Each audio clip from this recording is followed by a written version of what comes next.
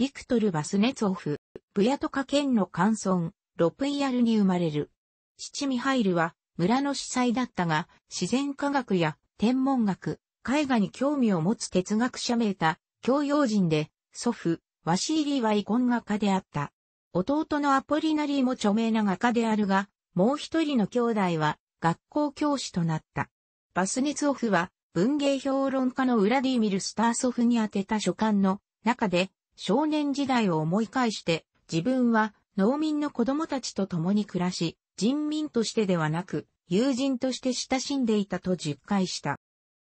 10歳からブヤートカの神学校に学び、夏ごとに家族連れで豊かな商業地リアーボボに過ごした。神学校に在籍中に地元の遺婚承認のために働き、また、ポーランド人の流浪の画家、ミハウエル・ビロ・アンドリオリを助けて、ブヤートカのアレクサンドルネフスキー大聖堂のフレスコ画を制作した。神学校を修了すると、サンクトペテルブルクに出て、美術を学ぼうと決意する。帝都に上京するのに必要な資金を稼ぐため、自作の絵画、刈り取る女と、乳搾りの女、いずれも1867年作を競売かけた。1867年にペテルブルク帝国美術アカデミーに入学するが、3年後には美術アカデミーに対抗していた写実主義の画家による移動派運動を知り、その指導者であったイヴァン・クラムスコイと親を結び、師匠と呼んだ。一方、同窓生のイリア・レーピンとも非常に親しくなった。1870年代初頭は、同時代の風俗を描いた数々の版画を制作していた。そのうち2点、地方の本や、1870年、及び、酒瓶を持った少年、1872年は、1874年のロンドン万博で銀賞を授与された。その頃には、油彩でも風俗画を描くようになった。田舎歌手、1873年や、転居、1876年は、ロシア社会の民主主義的な党派からも温かく得られた。歴史画や宗教画の画家として、名を挙げたバスネツォフが、当初は、こうした題材を何としても避けようとしていたのは、しかしながら皮肉なことである。ただし、民衆の前のハリストスとポンテオ・ピラトの生々しい構図ゆえに、美術アカデミーから銀メダルを贈られている。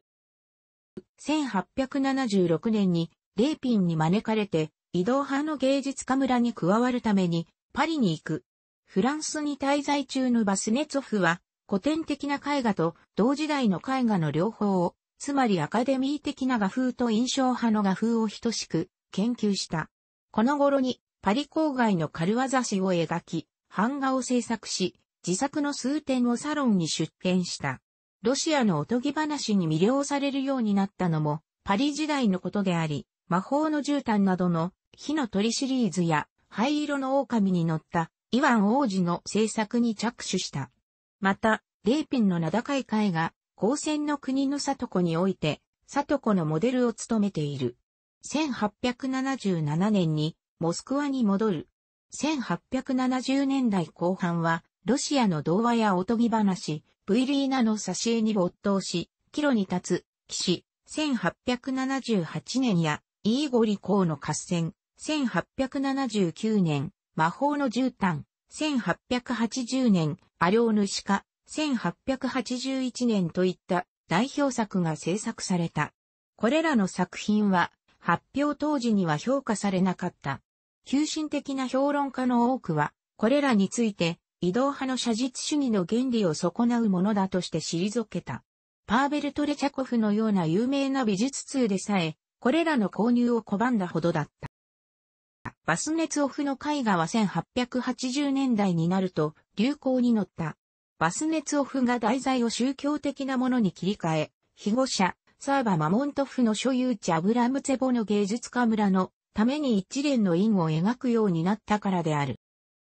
1884年から1889年にかけてバスネツォフは、キーエフの聖、ボロディームイル大聖堂に、フレスコ画を描くよう移植された。これは、ロシアや西欧の宗教画の伝統に逆らうものであり、それゆえ野心的な仕事であった。有力な芸術批評家のブラジーミル・スターソフはこれらの作品をロシア人の宗教心に対する冒涜的なお遊びと決めつけた。もう一人の人気批評家、ディミトリー・フィロソフォフは、これらのフレスコ画をロシア社会の様々な階級を200年もの間、切り離している入り江にかかった最初の橋と呼んだ。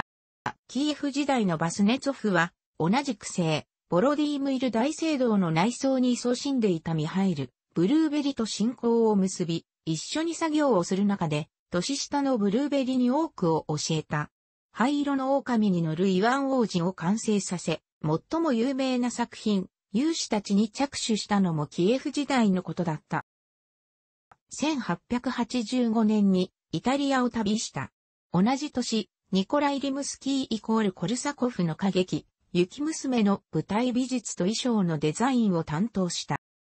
その後の20年間はバスネツオフにとって実り豊かな時期であったが、晩年の絵画のほとんどは第二次的な意義しか認められていない。この時期を通じて次第に他の媒体で働くようになった。1897年に弟アポリナリーと共同でリムスキーイコールコルサコフの歌劇、サトコの舞台美術を担当し、1910年代にはボガトゥイルカと呼ばれたヘルメットをかぶったロシア陸軍のために新しいユニフォームのデザインを依頼された。世紀の変わり目になるとトレードマークであるロシア文芸復興運動のスカーツカ様式建築を洗練させた。最初に評価された設計図は、ワシーリー・ポレーノフの手を借りたアブラムツェブの教会、1882年である。1894年にはモスクワの自邸を設計している。1898年にはパリ万博のロシア館を設計した。1904年にはスカーツカ様式の最も名高い建築物を設計した。すなわち、トレチャコフ美術館である。1906年から1911年までの間、ワルシャワ・アレクサンドルネフスキー大聖堂のためにモザイクをデザインした。1912年には皇帝ニコライ2世より貴族に列せられている。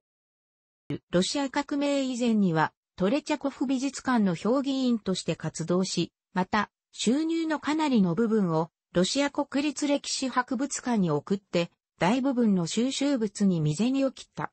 10月革命以降は、アレクサンドル・イワノフラの宗教画を、教会からトレチャコフ美術館に移すことを擁護した。楽しくご覧になりましたら、購読と良いです。クリックしてください。